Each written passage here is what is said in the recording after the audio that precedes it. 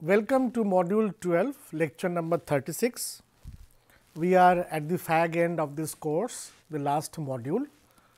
And in this module, we are going to discuss about usability testing of the product that you have developed.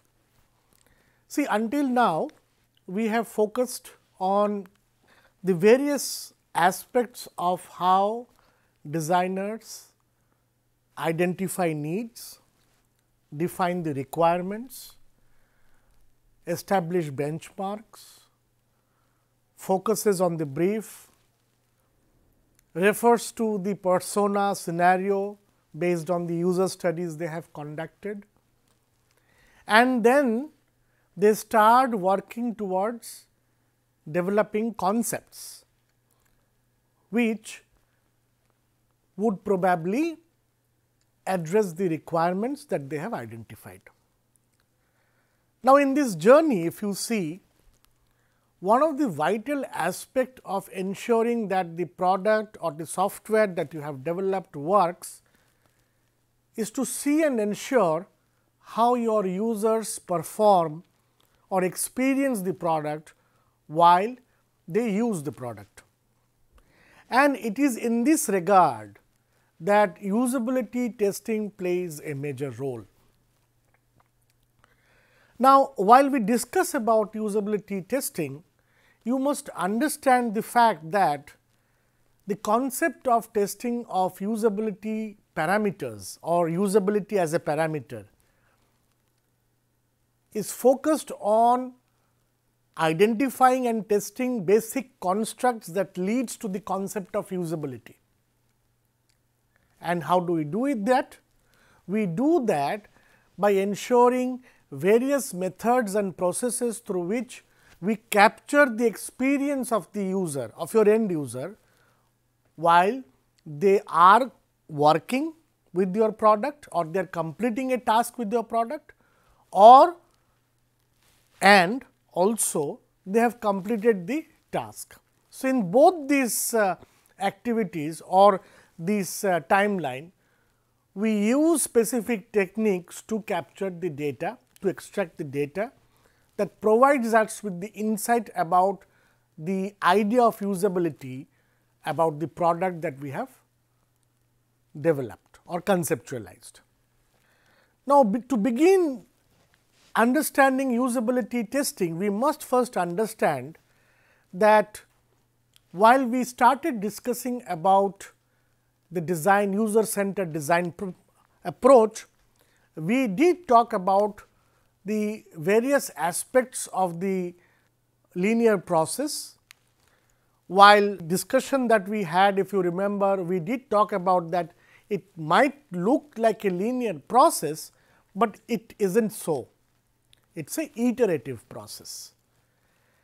And why it is iterative? Because every now and then when there is a state of confusion in the mind of the design team, they fall back to their most relied and time tested partners who are the users here and get feedback from them based on their inputs in order to clear the state of confusion for the team of design.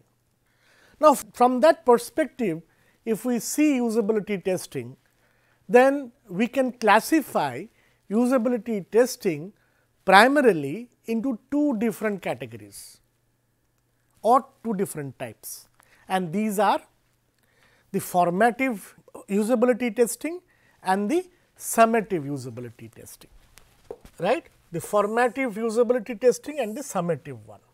And these are the generally two types of usability tests that are conducted in the life cycle of the design process that we have been discussing about.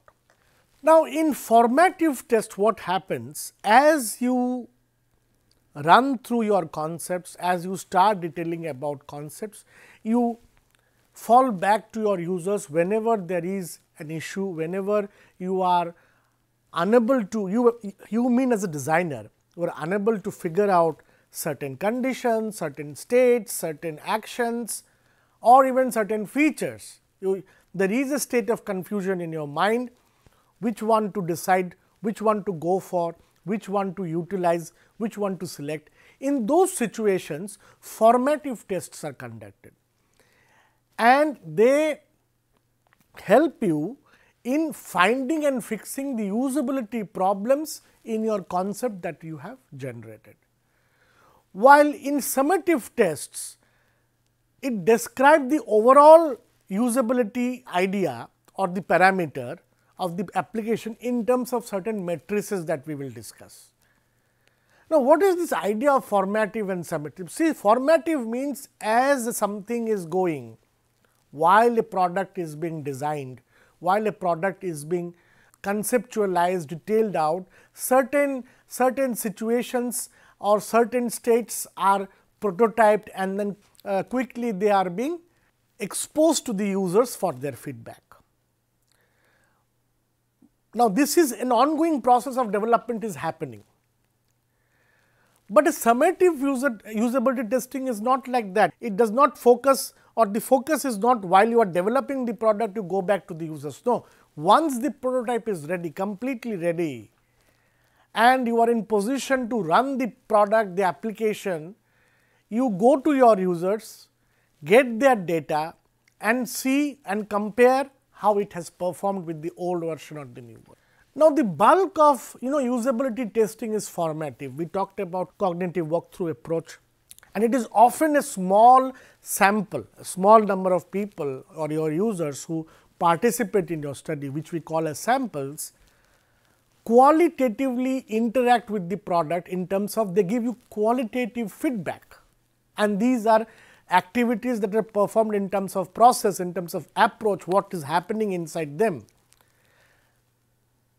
So, it is often a small sample qualitative activity where the data take the form of problem descriptions and design recommendations. Now, the major two types of usability testing which is primarily summative in nature are carried out with an objective to benchmark and to compare. See benchmark is, is, is, is of highly important for us, is not it? We discussed in our earlier modules how benchmarking allows the design team to identify the parameters, the contracts based on which they are going to conceptualize, the values which they need to break or with the, which they need to reach in order to ensure that the product, the software that they have developed sustains the competition in the market. And similarly, comparison is also important. Comparison is important to quantitatively identify the, the incremental differences that your new design concepts has brought in if you are working in a redesign project. So, you compare your new design ideas with the old design interfaces and see how incremental innovation has happened so that the matrices that you are going to identify they would let you know whether the difference exists or not or whether it is much worse than what it was previously. So, the goal of uh, you know the benchmark and the comparative one is to describe how usable an application is relative to a set of benchmark goals and the benchmark tests provide input on what to fix in an interface and also provide an essential balance for the comparison of the post design changes. And a comparative usability test, it involves comparison either between the old application that which you are redesigning or a comparison across your competitors. Now, this can be a comparison of a current with a prior version which I said or even of the competing products. So, in comparative tests the same users can attempt tasks on all products. So, the same tasks are being compared across the various version of the products, across the various competitors and the design team actually see which one is better in comparison to the other, right. And the different sets of users who can work on each product. See, when we talk about this comparative usability test, one of the important issues that are often discussed among the research team is to whether use the same people across different platforms. So, what you say you have um, 5 people and you are using the same number of people, the same people not only the number, the same people. The same people are involved in conducting a task in platform 1. The same people are also involved in completing the task in platform 2, platform 3, so on and so forth. Now, the idea is you are using the same samples. And what is the main idea behind using the same samples? The idea is that if you are using same samples, they would probably in a position to compare the tasks across the platform because they have used a different they would be exposed to different design features of the same task and they would be in a much better position to explore compare these features and provide you with data. And when you are using the same samples across multiple platforms conducting the same task, we call that as a within subject design. Subject means here, subjects means samples. Now, there is also a line of uh, thought which says that if you are using the same samples over and over again across different products, across different platforms, then there is a learning effect. That means, the task is there, he is he probably he probably he or she probably knows a task in a much deeper way and there would be a learning effect across these platforms and that might influence their responses while they are comparing the platforms. Now, in that line of thought this is also refers to biases. The individual biases that might influence the study results. In those case, researchers has come up with a different approach which is called as the between subject design. If you see in this slide, we talked about between subject design. Now, what is a between subject design? Now, between subject design means you are not using the same samples over and over again across the different application platforms. What you are doing is you are using the same number of peoples, I mean the number is same, but they are not same across all platforms. You use different samples for the different platforms but keeping in mind that the samples are of or they have similar individual characteristics. For example, if in platform A you, you are using 5 samples who are of male and in platform B if you are using um, 5 samples who are female, then they are not comparable because gender differences exists.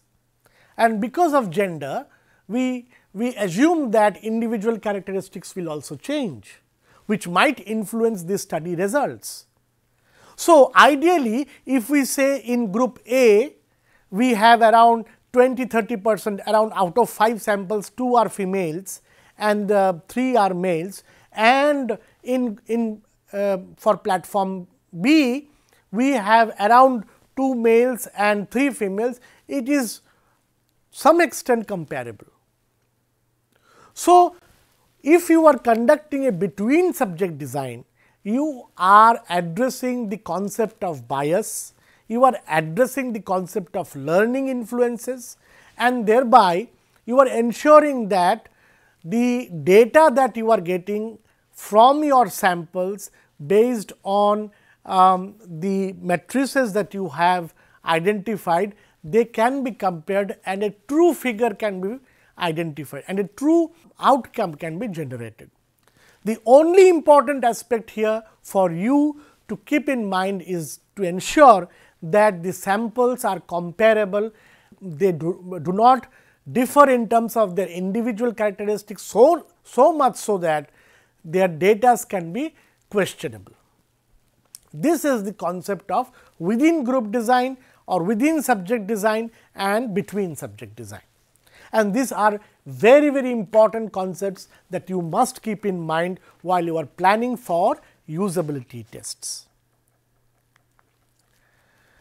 Now, some of the matrices that are extensively used in usability testing, few we have discussed earlier in the initial lectures, while we will talk about some of them in detail in this lecture. The first most important matrix is the completion rates. Now, what are completion rates? The word itself would tell you what is meant by completion. What does your user complete? See, your interface is a medium to complete what? That is the question you must ask. You are designing a software, you are designing an application, but the goal of your user is not to use the application just because they want to use it. They want to reach a goal, they want to complete a task and that is their central objective. So, a completion rate is about how successfully your samples or end users are able to reach their goal or complete the task. So, completion rates are also called success rates. In many papers, in many case studies of uh, usabilities or in the domain of human computer interaction, user experience design, you would see people talking about success rates. These are same. Success rate means completion rates and these are typically collected as a binary measure of the task success. I mean when we talk about completion rates or success rates, what are the possibilities that can happen? There are only two possibilities that can happen. Either there is a task success which is coded as 1 or there is a task failure which is coded as 0. Now, tasks uh, success means what? Your end user is able to complete the task and therefore, you have identified that if a person is able to complete the task make it 1 he has his score is 1 and if it is if he is unable to reach to the goal if he is unable to complete the task then the code is 0. So, these are reported completion rates on a task. The report completion rates on a task by dividing the number of users who successfully complete the task by the total number who attempted it and that what will give you the percentage of success rates or completion rates of that particular task using that interface. So, some of the examples like you know 8 out of 10 users complete a task successfully. So, the completion rate is what 80 percent right. So, you can also subtract the completion rate from 100 percent and re report a failure rate. So, the failure rate is 20 percent. Now, say for example, your stakeholder who has already a new software, who has already a software rather, he says that in this software the failure rate is around 40 percent. I want you to reduce down to 10 percent. Now, that is very crucial. Now, he has already given you a benchmark and the benchmark is what? Identify the usability issues, identify why they are unable to complete or unable to the success rate is less, it is around 60 percent and with your new design you are supposed to improve it to at least to 90 percent, right and that is what we, we understand by completion rates or success rates. The next important matrix is about task time. Now, what is task time? Now, task time is how long a user spends on an activity. It is the temporal dimension, the time dimension.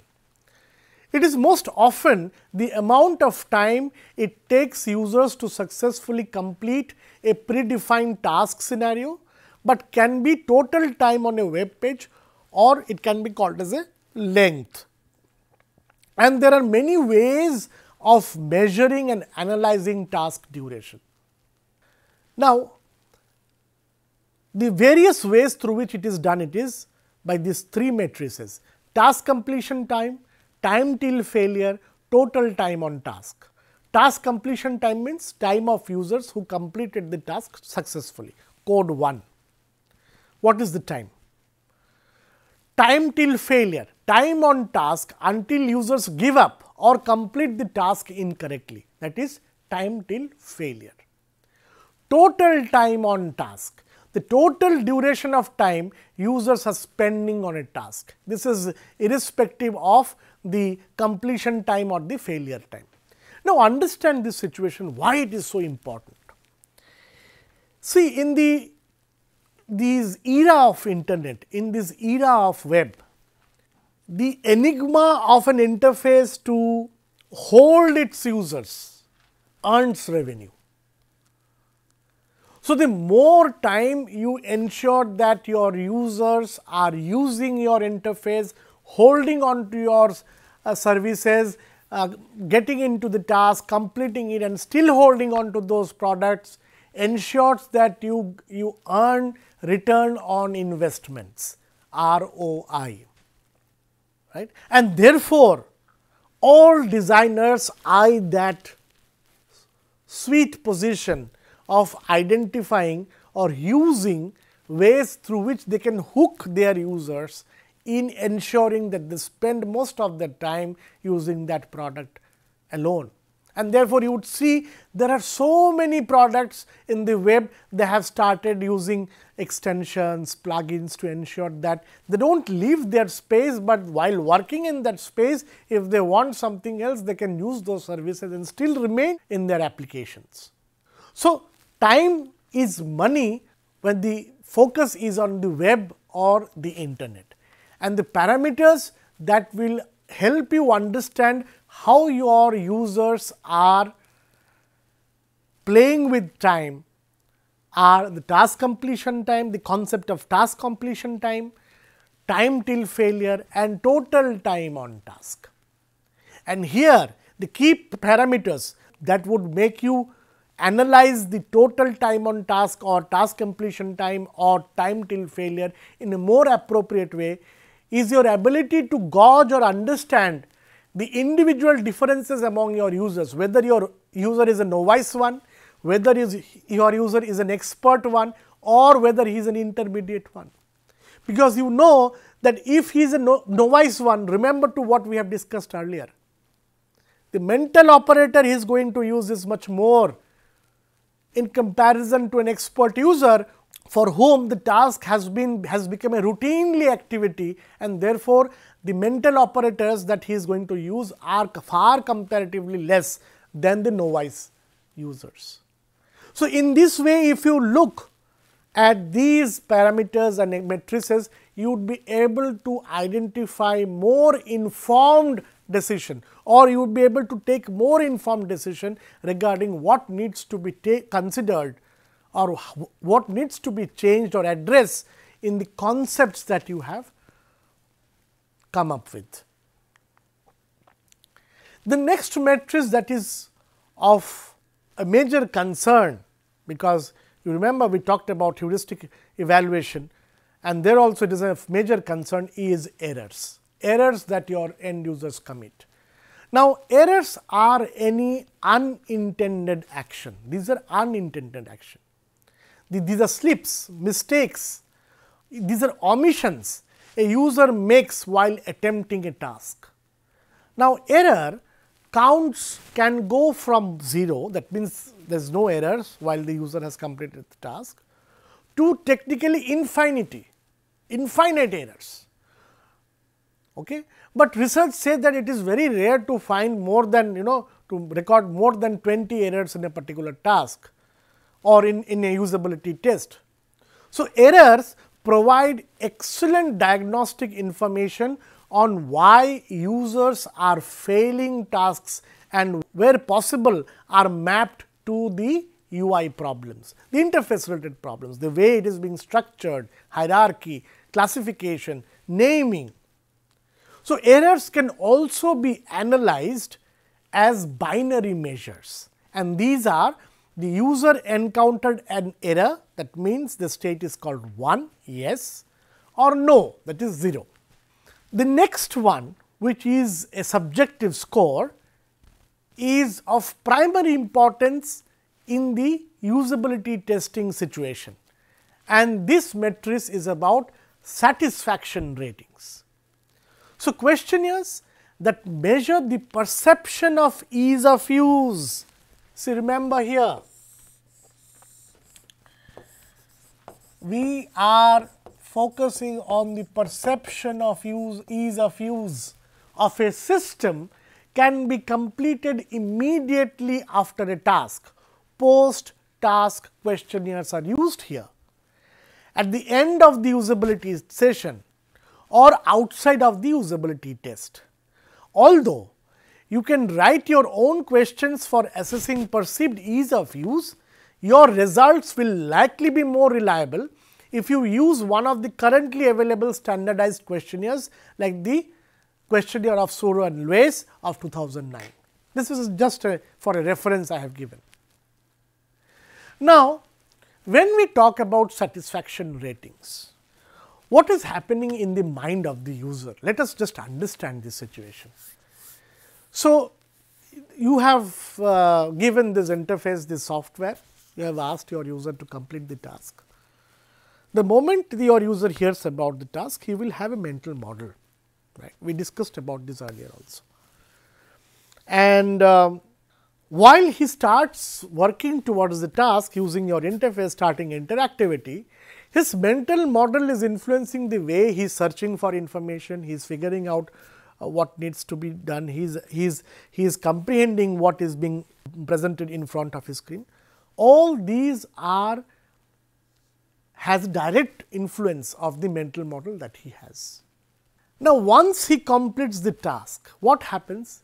In real time, there is a comparison between what he had in his mind and what is being given to him. If there is a disconnect between what you as a designer has designed for him and what he what he wanted, then this subjective ratings like the satisfaction ratings will go down because he will evaluate this difference and then probably he will give you the score. Okay.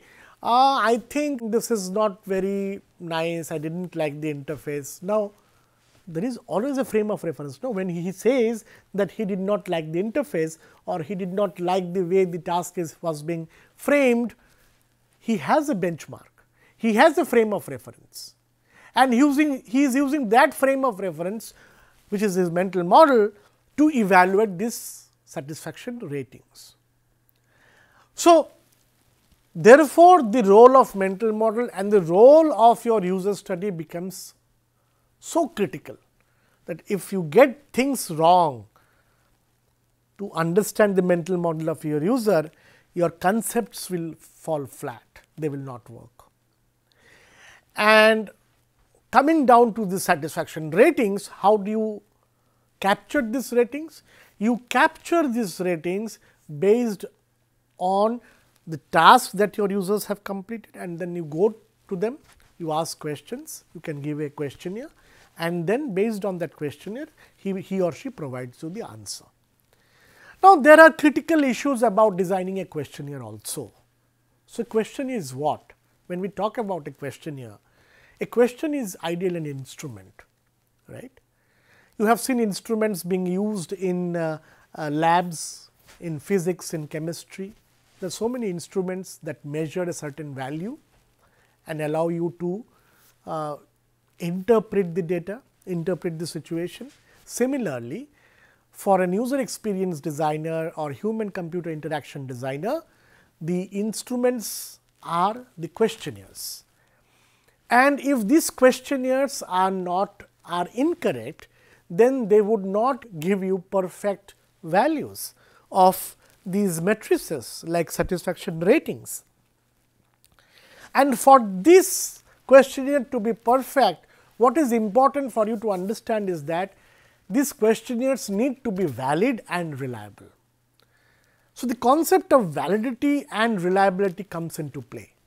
Now, when I say valid, what do I mean by that? I mean by that if you are, if your intention, if the intention of uh, of the researcher is to measure satisfaction score, he must design an instrument, a questionnaire such that it measures only satisfaction.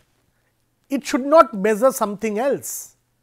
It should not measure uh, some other parameters, uh, for example, uh, his future plans or uh, uh, how do, does he envisage a situation in the future or uh, what was his past experience, um, so on and so forth. Now, if it measures all those parameters except satisfaction, then the questionnaire, then the instrument is not valid. And there are very ways through which we test for validity also. There are some uh, statistical way, there are some subjective way through which validity is measured. Now, similarly, along with the concept of validity, the concept of reliability is important. Your instrument needs to work every time the same way. If it is me measuring satisfaction, it must measure satisfaction here while you are working. It, it should measure satisfaction in a different sit situation also.